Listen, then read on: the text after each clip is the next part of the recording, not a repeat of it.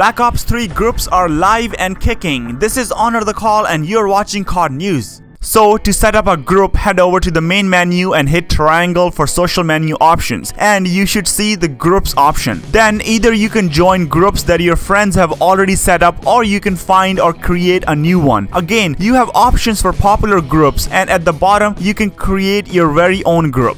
Once you click on create your group, you have to select a name obviously and group type which can be public or private. Then at the bottom you can also add a short description if you want. You can also select different emblems and then create group. Boom, there you have it. I have created a group for this channel, Honor the Call, and it's public. So go ahead and join it if you wish. Just search for Honor the Call, one word. On the next page, you can select any of your friends who you want to invite to your new group. Once done, hit add friends on the bottom right and they will all receive an invite from you. If you find this video helpful, please take a second to like and subscribe to show your support. Moving on. After adding friends, it will take you to group headquarters. Here you have tons of options. For starters, you can create a new leaderboard based on default career stats or you can hit options to edit leaderboard and create your own leaderboard depending on game mode, core, hardcore and many more options. Also under showcase, you can publish your very own paint jobs, variants, screenshots and you can also see all these items published by anyone in your group.